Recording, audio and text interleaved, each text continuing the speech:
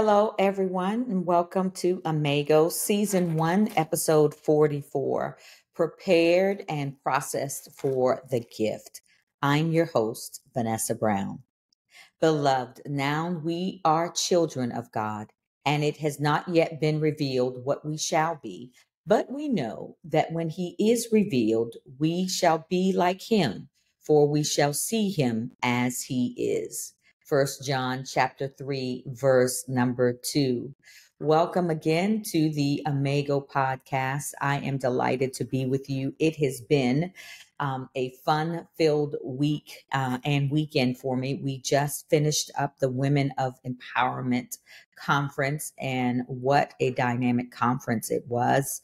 We had uh, some great speakers from Nassau in the Bahamas um, and also Dr. Tori Phillips. So it was just fantastic to to be with them, to, to hear the word of God that they brought forth.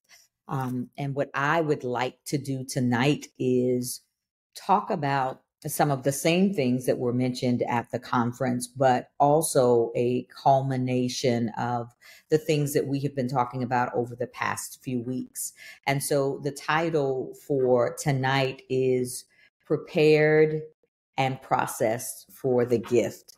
And it is going to be based on um, what we have studied over the past three weeks, uh, the scripture from Mark regarding James and John, um, also what we learned about um, King Uzziah and about this gift, this gift that uh, Jesus has left for us. So I want to start off this evening by just reminding us about Mark 10, 35 through 45. That was our original scripture where we were talking about how James and John um, were jockeying for position. And for us to really understand and realize that there is nothing we can do about trying to force our way into positions that Jesus did not um, prepare for us, or Father God has not prepared for us, because we all have a certain position to fill in the body. We are all given certain qualities and uh, our personalities. They are for a reason. They are because God is preparing a position for us to fill. And in order to fill that position, we have to be careful about putting ourselves in places where we don't belong. One of the things that's mentioned to us in the Bible is in Philippians chapter 2, verse 3, when it says, Do nothing out of selfish ambition or vain conceit. Rather, in humility, we should value others above ourselves, not looking to our own interests, but each of us to the interests of others. And so, even as we are deciding what positions we should occupy or fill, we should be looking at that and questioning that from the lens of Philippians 2 and 3. Because it's not about how much money we can gain from positions that we we seek it's not about the fame it's not about the fortune it is about what is the purpose? Why do i want this position? Do do i want the position because i think it's going to bring me some type of notoriety? Or do i really want this position because god is calling me to it and it is it is what he has made me for? And that's how we should be processing um, when we are considering positions that we are taking I have I have worked with a lot of people and I've seen a lot of of things and it doesn't matter how much money a position pays you. If you are not happy, if you're not fulfilled, I want to say, I don't like even using the word happy, but if you're not fulfilled by the work that you're doing, then it doesn't matter how much money you are paid right it doesn't it doesn't matter the accolades that you gain from the position because there's still going to be this void within you and so we are to seek positions based on what God has prepared us for and how God has prepared the positions for us. Um, and one of the questions that we ask eh, over the last few podcasts was Do you know what position you've been called to? or are you just seeking positions on your own? Do you know what position God has called you to? God did not prepare the position on Jesus's left or his right for James or John. And so they were asking for it, they were seeking the position, but the position was never theirs. It was not theirs. And Jesus told them that that position was for who God had prepared it for. And so that leads me to believe that God has prepared positions for each of us, right? And one of the biggest dangers of putting ourselves in positions that were not prepared for us is that mm-hmm. we're not prepared for the position. And we mentioned in the previous podcast, an example of this is when the disciples tried to cast out the demon in the boy and they couldn't do it. That became a struggle for them. And that's what happens to us when we put ourselves in positions that we are not prepared for or that God did not prepare for us. The position becomes a struggle for us. And instead of looking like we're strong and instead of being able to bring any glory to God, we find ourselves in positions of embarrassment. But God said to Jeremiah in chapter 1, verse 5, that before I formed you in the womb, I knew you. Before you were born, I set you apart. I appointed you as a prophet to the nations. And so God has a plan and a purpose for us. He knows the position that He wants us to occupy while we are here on earth. And as we occupy these positions, we also, I found out this weekend, um, we also have responsibility for that. And so we have to be very careful in wanting to assume positions that we were not called to or positions that were not made for us, right? Romans 8 and 30 was another scripture that we used when we were talking about prepared positions. Romans 8 and 30 says, And those who he predestined, he also called, and those he called, he also justified, and those he justified, he also glorified. So, again, going back to this concept that God already knows the position that He wants you to fill. It's why, why He sent you to earth. You came to earth with an assignment, right? So He has predestined it. He is going to call you when that position is ready so that you can fill it, right? And then when He calls you, He justifies you. He He marks you. He He knows what is inside of you. And that is why he called you. So that that is the meaning of you being you're justified right? And those he justified he also glorified. Notice that when when god has his hands on a person and has prepared a position for them they do the work and it's effortless. It's it's almost as if they are really enjoying it. It's not hard for them. And there is glory that comes on them. And there is glory in the work that they do. And that's when you know that you are in your prepared position, right? It is something that you can do without without much thought. You enjoy doing it.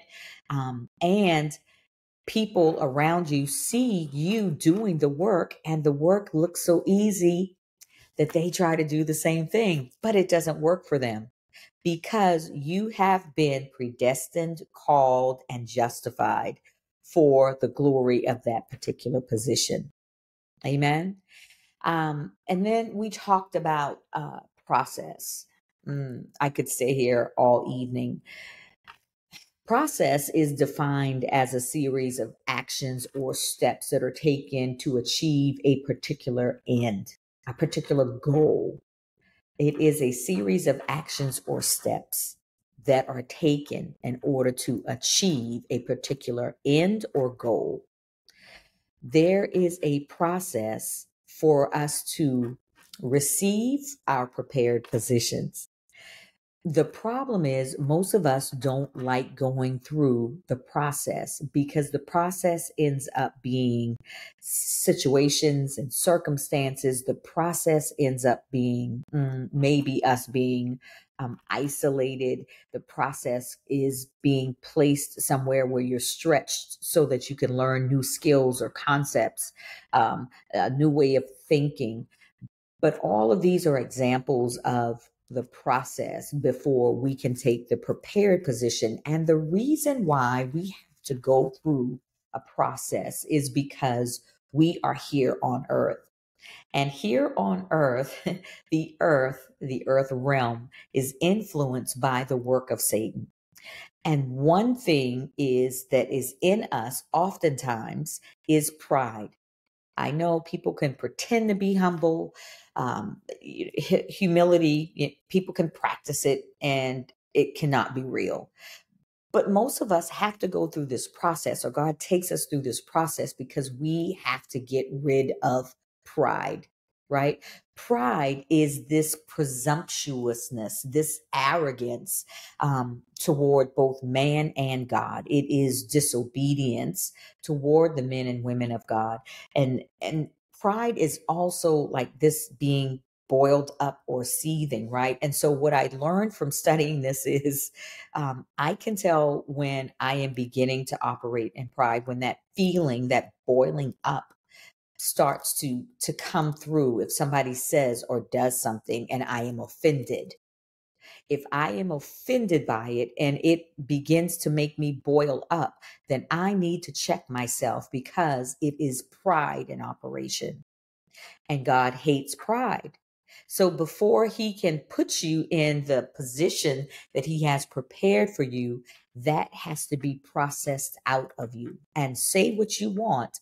But you didn't walk out your mother's womb saved. And so you have years of worldly influence in you that has to be worked out of you because you can't operate in God's position with the spirit of pride running rampant in you.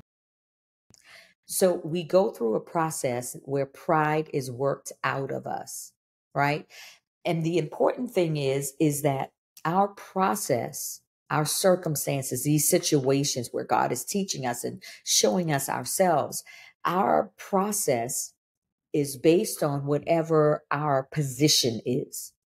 And so you you need to always remember that everybody's process is going to be different everybody goes through different stages, everybody goes through different tests and trials to work out what is not of God that is in them.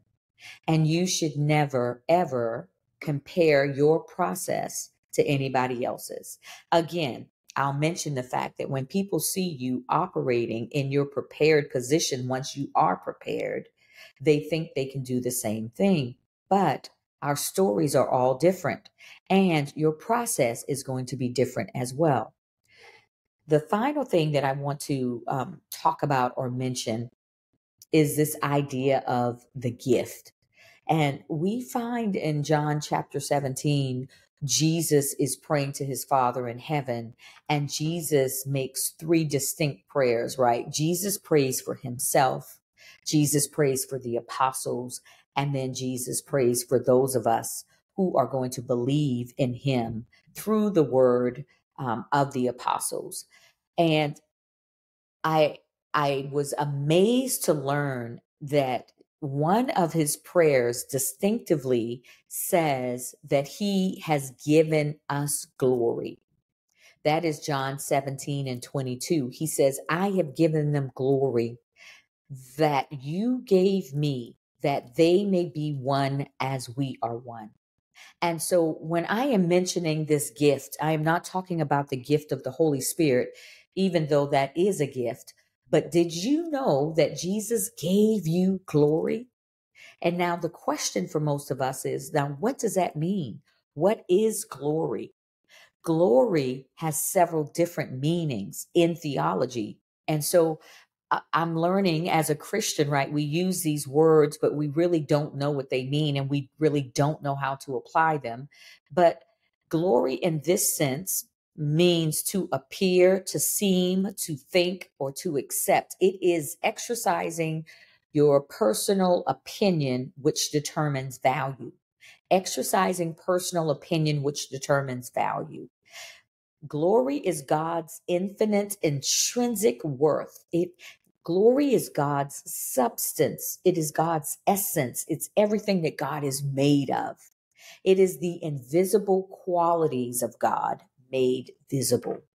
So Jesus said, I gave them the glory that you gave me, right? That they may be one as we are one. I just want to deal with the, the A part of that verse. I have given them the glory that you gave me. What glory did God give Christ? What glory did God give Jesus? God gave Jesus all of his infinite intrinsic worth. He gave Jesus his substance, his essence. Jesus is God, right? In human flesh. So we need to know that Jesus is saying the same thing that my Father gave me, I am giving to them. I am giving to you. So we have it. We have this intrinsic worth, the same stuff that God is made out of, right? His invisible qualities, his substance, his essence.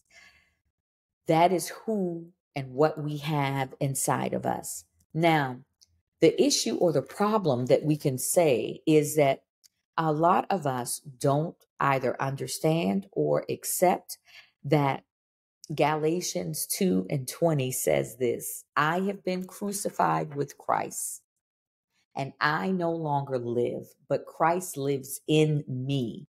The life I now live in the body, I live by faith in the Son of God who loved me and gave himself for me.